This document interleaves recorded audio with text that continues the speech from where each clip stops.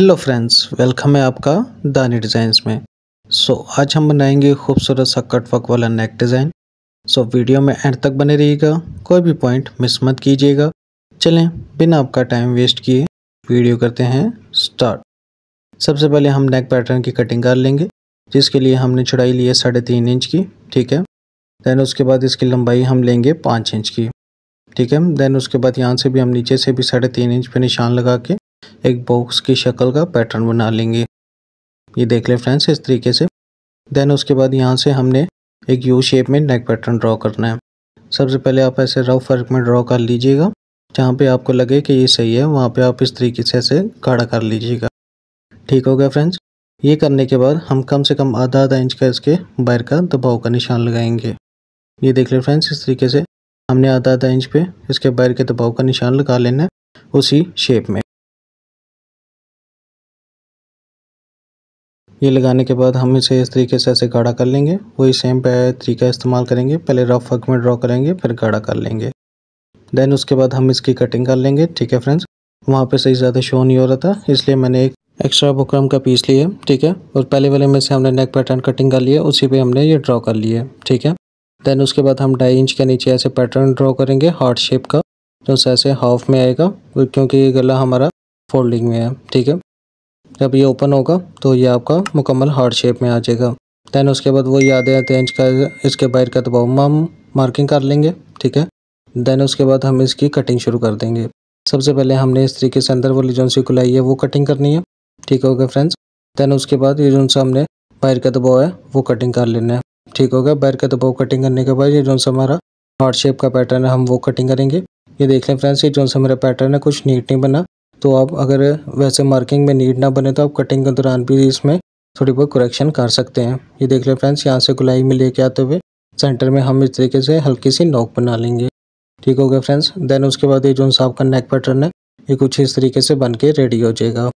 Then उसके बाद हम शर्ट का फैब्रिक लेंगे और उसके ऊपर इसको प्रेस के साथ अच्छे तरीके से चिपका लेंगे। ठीक हो गया फ्रेंड्स ये देख लें। हम इसकी बैक साइड से प्रेस मारेंगे, क्योंकि बैक साइड से ये होता है कि जो सी आपकी बुकरम है, वो अच्छे तरीके से चिपक जाती है। ठीक होगा फ्रेंड्स और ये इस्त्री के साथ भी नहीं लगती। देन उसके बाद ये प्रेस लगाने के बाद हम साइडों से जो सा, कम से कम आधे आधे इंच का दबाव छोड़ते हुए ऑल राउंड इसकी कटिंग कर लेंगे। ठीक हो गया जैसे जैसे बाहर से इसका पैटर्न बना होगा।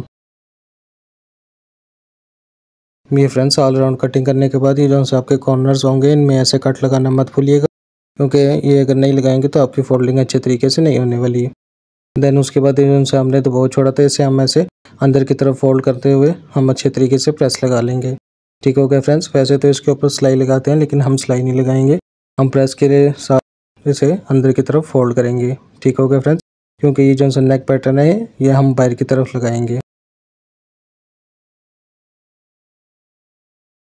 ये फ्रेंड्स इस तरीके से फोल्डिंग करने के बाद हम ये एक पीस लेंगे, जो कि हमारा होगा दो बाई दो इंच का। ये देख लो फ्रेंड्स इस तरीके से। इसे हम ऐसे सेंटर में से ट्रायंगल शेप में फोल्ड करते हुए, जो से इसके साइड से कॉर्नर होंगे, इनको हम ऐसे ऊपर की तरफ़ करते हुए सेंटर में हल्की सी चुनर डालेंगे और इसके ऊपर सिलाई लगा लेंगे। ठीक हो गया फ्रेंड्स ये देख, हम इस तरीके से जो सा इसका पैटर्न है, ये बना लेंगे। ये देख ले फ्रेंड्स इसके ऊपर कम से कम अपने आधे इंच का नीचे छोड़ के ऊपर जो सा फालतू होगा, उसे ऐसे ही छोड़ दीजिएगा और इसके ऊपर ऐसे सिलाई लगा लीजिएगा। ठीक है, मैं एक दफ़ा फिर आपको करके दिखा देता हूँ, इसको आपने ऐसे सेंटर में से फोल्ड करना है। ठीक है, और देन जो से नीचे सीधी वाली साइड होगी वहाँ से आपने ऐसे दोनों कॉर्नर्स को ऊपर की तरफ़ उठाना है और सेंटर में हल्की सी ऐसे चुनट देते हुए इसके ऊपर सिलाई लगा लेनी है। ठीक होगा फ्रेंड्स ये देख लें इस तरीके से और सेम इसी तरीके से आपने कम से कम ज़्यादा से ज़्यादा पीसेस बना के रख लेने हैं। देन उसके बाद जो सा हमारा नेक पैटर्न होगा, उसे हम शर्ट के ऊपर से अटैच करेंगे। ठीक है, हमने नीचे जो सी हमारी शर्ट है, ये उल्टी रखी है और उसके ऊपर ये जो सा नेक पैटर्न है, उसे सीधा रखा है। ठीक होगा फ्रेंड्स सबसे पहले ये जो नीचे हमारा हार्ट शेप का पैटर्न होगा, हम उसमें सिलाई लगाएँगे। और ये जो है ये आपने बुकरम के साथ साथ लगानी है। बुकरम से ज़्यादा दूर ना हो और ना ही बुकरम के ऊपर आनी चाहिए, ठीक हो गया फ्रेंड्स बिल्कुल बुकरम के साथ साथ आपने ये ऑलराउंड सिलाई लगा लेनी है। ऑल राउंड सिलाई लगाने के बाद हम इसके बीच में जो सही कपड़ा होगा, उसे हम ऐसे कटिंग कर लेंगे। ये देख लें फ्रेंड्स इस तरीके से सबसे पहले आपने ऐसे सेंटर में कट लगा लेना, ठीक है स्ट्रेट देन उसके बाद इसे साइडों से ऐसे गुलाई में जिस शेप में ये बना होगा, उस शेप में आपने ऐसे कटिंग कर लेनी है। ठीक हो गया फ्रेंड्स ये देख लें।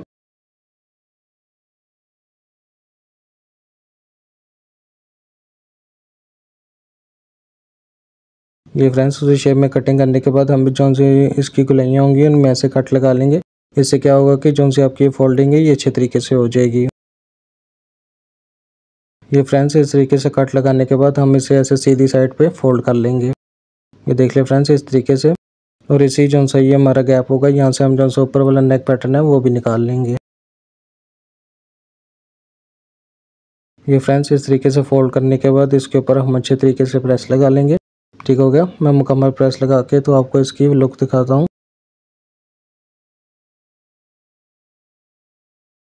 ये फ्रेंड्स, इस तरीके से हमारा पैटर्न कुछ बन के रेडी हो चुका है। देन उसके बाद जो सी इसकी साइड होंगी, वहाँ पे हम किनारे की सिलाई लगा लेंगे। लेकिन उसके साथ साथ ये जो से आपने ये छोटे छोटे पीसेस बनाए थे, हम ये लगा लेंगे। ये देख ले फ्रेंड्स, ऊपर से कम से कम आपने एक इंच का गैप छोड़ना देन उसके बाद इसको बीच में ऐसे रखते हुए जहाँ तक उसकी सिलाई लगी होगी उस सिलाई को इसके बीच में रखते हुए इसके ऊपर सिलाई लगा लेंगे। देन उसके बाद जो हमारा दूसरा होगा, उसको भी हम कम से कम आधे इंच का पहले वाले से गैप छोड़ के तो इसके ऊपर ऐसे सिलाई लगा लेंगे। ठीक हो गया फ्रेंड्स और ये जो सी सिलाई ये आपने किनारे की लगानी है, ठीक हो गया? और सेम इसी तरीके से आपने ऑल राउंड लगा लेने हैं। सिर्फ़ जो सा नीचे हार्ट शेप का पैटर्न होगा, उसे छोड़ के। ठीक हो गया फ्रेंड्स और ये डिज़ाइन बनाते वक्त अगर आपको कोई भी प्रॉब्लम हो तो आप मुझे कमेंट बॉक्स में कमेंट कर सकते हैं। मैं आपके कमेंट का आंसर ज़रूर दूँगा।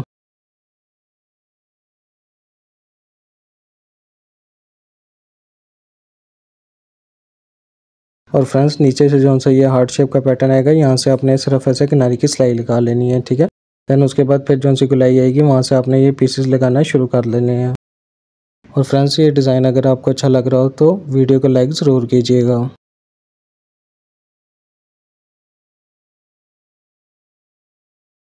ये फ्रेंड्स इस तरीके से आपने ऑलराउंड ये पीसेस लगा लेने हैं। पीसेस लगाने के बाद जो सी अंदर वाली इसकी साइड होगी प्रोग्राम के साथ साथ हमने इसके भी ऐसे सिलाई लगा लेनी है ऑलराउंड ठीक है? अगर आप चाहें तो यहाँ पे आप ऐसे मार्किंग भी कर सकते हैं। अगर आप ऐसे अंदाजे से लगा सकते हैं तो मच बेटर है, नहीं तो आप ऐसे इसके बुकरम के साइडों पे पहले मार्किंग कर लीजिएगा दैन उसके बाद फिर सिलाई लगा लीजिएगा। ये फ्रेंड्स इस तरीके से ऑलराउंड सिलाई लगाने के बाद इसके जो अंदर वाला दबाव होगा, हम उसकी कटिंग कर लेंगे। और ये जो सी दबाव की कटिंग है, ये कम से कम आपने आधा आधा इंच ऑलराउंड दबाव छोड़ के कटिंग करना है, ठीक होगा फ्रेंड्स और ये कटिंग करते टाइम ये चीज़ ध्यान में रखिएगा कि सिलाई ना आपकी कटे देन उसके बाद हम ये जॉइंट लेस लेंगे और इसका जो सा गैप होगा, नीचे जो हमने सिलाई लगाई होगी, उससे थोड़ा सा पैर की तरफ़ रखते हुए हम इसके ऊपर भी सिलाई लगा लेंगे। ठीक हो गया फ्रेंड्स ये देख लें इस तरीके से। ये आपने ऑल राउंड नेक के ये जॉइंट लेस लगा लेनी है। ये फ्रेंड्स ये देख लें इस तरीके से। उस सिलाई से कम से कम थोड़ा सा दूर रखते हुए हम ये इसके जो सा दबाव होगा, सीढ़ी लेस का, उसके ऊपर ऐसे सिलाई लगा लेनी है। ठीक हो गया? ये फ्रेंड्स इस तरीके से ऑल राउंड सिलाई लगाने के बाद हम इसके बीच में ऐसे कट्स लगा लेंगे और इसे अंदर की तरफ़ फोल्ड कर लेंगे। ये फ्रेंड्स ये देख लें इस तरीके से अंदर की तरफ़ फोल्ड करने के बाद हम इसके ऊपर अच्छे तरीके से प्रेस लगा लेंगे ताकि ये अच्छे तरीके से बैठ जाए।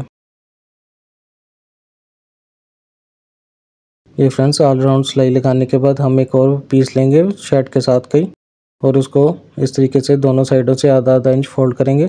सबसे पहले आपने इस तरीके से एक साइड से फोल्ड करते हुए इसके ऊपर अच्छे तरीके से प्रेस लगा लेनी है।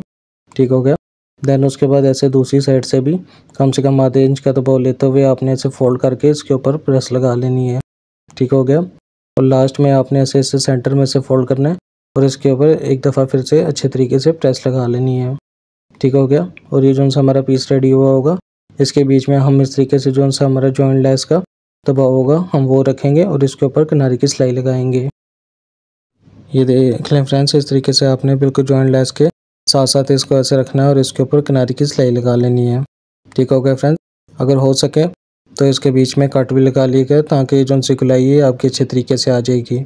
ठीक हो गया फ्रेंड्स ये देख लें, इस तरीके से आपने ऐसे गुलाई में कट लगा लेने देन उसके बाद इसके बीच में ऐसे जॉइंट लेस को रखते हुए इसके ऊपर हम अच्छे तरीके से किनारे की सिलाई लगा लेंगे। ठीक हो गया फ्रेंड्स ये देख लें इस तरीके से आपने ऑलराउंड किनारे की सिलाई लगा लेनी है।